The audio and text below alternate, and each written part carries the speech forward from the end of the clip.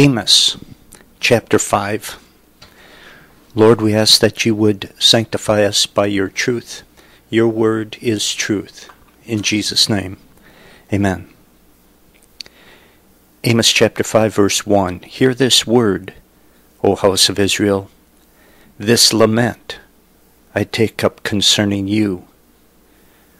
This prophecy in chapter 5 is delivered in the form of a funeral song, as if Israel is dead, and says in verse 2 Fallen is virgin Israel, never to rise again, deserted in her own land, with no one to lift her up. Israel was like a virgin who had a wonderful future, but now she is dying. All the good that could have been will not be. 3. This is what the sovereign Lord says The city that marches out a thousand strong for Israel will have only a hundred left. The town that marches out a hundred strong will only have ten left. Israel's armies will become weak and unable to protect the nation. 4. This is what the Lord says to the house of Israel Seek me and live. This is a last minute plea for repentance. God does not give up easy, does he? He hates to punish. 5. Do not seek Bethel. Do not go to Gilgal. Do not journey to Beersheba. For Gilgal will surely go into exile, and Bethel will be reduced to nothing. And these were all centers for idolatry. God says, don't go running to any of those places because I'm going to destroy them. The last place Israel should run to at this point is her idols. She needs to run to God. As verse 4 says, Seek me and you will live. And then verse 6 Seek the Lord and live, or he will sweep through the house of Joseph like a fire it will devour, and Bethel will have no, no one to quench it. The house of Joseph refers to the northern kingdom of Israel, and so he just repeats his plea for them to come to their senses and repent. Verse 7 You who turn justice into bitterness and cast righteousness to the ground, the court system which God established to carry out justice was unjust. Judges were letting the guilty off the hook. Meanwhile, the rich were using their influence to put the poor in prison. The justice system was a real mess because of sin. Verse 8 He who made the Pleiades and Orion, who turns blackness into dawn and dark darkens day into night, who calls for the waters of the sea and pours them out over the face of the land. The Lord is his name.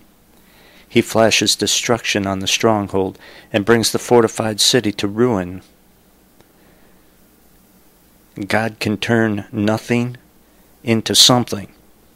Outer space was empty until God put stars there, including Orion and the Pleiades.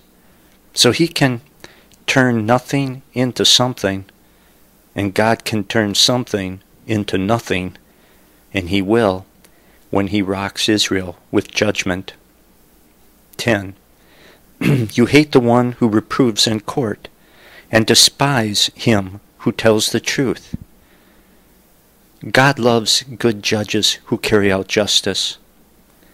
The Israelites hated good judges and tried to silence them. 11. You trample on the poor and force him to give you grain. Therefore, though you have built stone mansions, you will not live in them. Though you have planted lush vineyards, you will not drink their wine. The bad judges took grain from the poor and gave it to their rich friends, who then sold it and used the money to buy big houses. God says, You're never going to enjoy those houses. 12. For I know how many are your offenses, and how great your sins. You oppress the righteous and take bribes, and you deprive the poor of justice in the courts. The courts were not fair. The rich were winning all the cases because they had the wealth to bribe the ungodly judges. God saw it all. And if they thought they were getting away with it, they were making a huge mistake. 13. Therefore, the prudent man keeps quiet in such times, for the times are evil. The common person didn't say much about all the unfairness. They were probably afraid to say anything. And, you know, it wasn't a democracy, so they couldn't vote these bad judges out of office or the politicians who put them there. 14. Seek good, not evil, that you may live. Then the Lord God Almighty will be with you, just as you say he is. Notice what he says here. Seek good, not evil. Those who say, and there are some today, some Christians today, who say that we shouldn't even try to be good because we'll fail anyway. At least our motives will not always be 100% pure according to them. And so, you know, you should be careful about even trying to be good because when you try to be good, you may end up being bad because your motives aren't quite right. That is such twisted, unbiblical thinking. People who think that way should read this verse carefully. It is clear. God says that people should at least try to be good, to make the right choices. It's our business to work as hard as we possibly can to do what God says is right.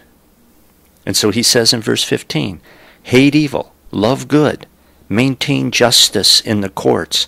Perhaps the Lord God Almighty will have mercy on the remnant of Joseph. Humanly speaking, the people need to convince God that they're serious about repentance. If they do, perhaps there's still time to avoid punishment.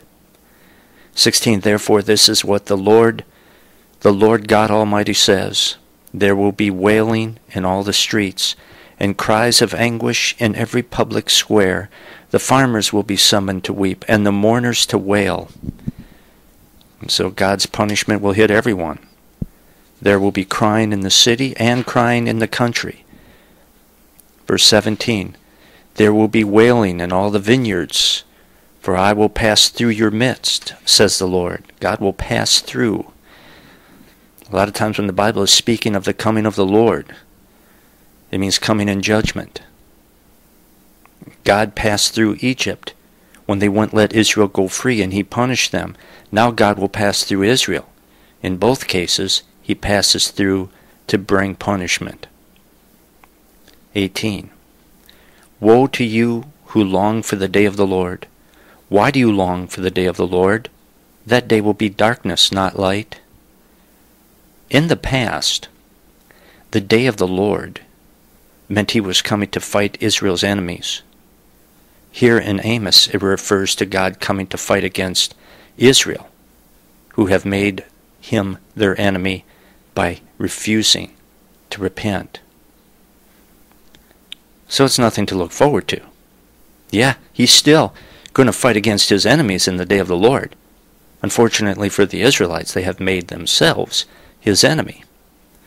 19. It will be as though a man fled from a lion only to meet a bear, as though he entered his house and rested his hand on the wall only to have a snake bite him. You know, and if this wasn't so serious, it could be a scene in a slapstick, slapstick comedy sketch. But there's nothing funny about it. They're going to run from a lion and run into a bear. They're going to escape into their house and take a deep sigh of relief and rest their hand on the wall, catch their breath, only to have their hand bit by a snake. Nothing funny here. Because God is saying, you're not going you're not going to avoid my wrath no matter where you run. 20. Will not the day of the Lord be darkness, not light, pitch dark without a ray of brightness? And in the Old Testament, darkness pictures trouble and danger. And so the Israelites knew what God was saying to them. 21. I hate, I despise your religious feast. I cannot stand your assemblies. The Israelites had three major religious celebrations every year. God was to the point where he hated them. They were nothing but religious shows. 22. Even though you bring me burnt offerings and grain offerings, I will not accept them. Though you bring choice fellowship offerings, I will have no regard for them. God would not accept any of their sacrifices because they didn't care about him. 23. Away with the noise of your songs. I will not listen to the music of your harps. Sacred music was an important part of worship. However, since they didn't care about God, it was just a bunch of noise to him. It may have been beautiful singing. The playing of the instruments, you know, might have been just very skilled, but it sounded like a it just sounded like noise pollution to God because their hearts were not in it. They were not worshiping him. 24 let justice roll on like a river, righteousness like a never failing stream. That's what's important to God. You know, the Israelites thought that they could separate their worship from their private life, but they could not. If we do not live right, or at least care about God, our religion and our worship is meaningless to Him. You can't separate your private life from your public worship or your worship of God, period. Because worship of God is worthless without a heart for God that affects your everyday life. 25. Did you bring me sacrifices and offerings forty years in the desert, O house of Israel? Israel's relationship with God was never primarily a result of them bringing the proper sacrifices. It was never about that. When they and God were getting along, it was because they cared about Him. And yes, they brought sacrifices when they failed or they wanted a fellowship offering or something like that, and that's fine. But the reason they were getting along is because they had a heart for God. 27. Therefore I will send you into exile beyond Damascus, says the Lord, whose name is God Almighty. And God had punished his people in smaller ways, trying to get them to repent. It didn't work. Consequently, he announces that their final punishment is on the way. They would be removed from their land. And we'll pick it up in Amos chapter 6 next time. Until then, so long, everyone.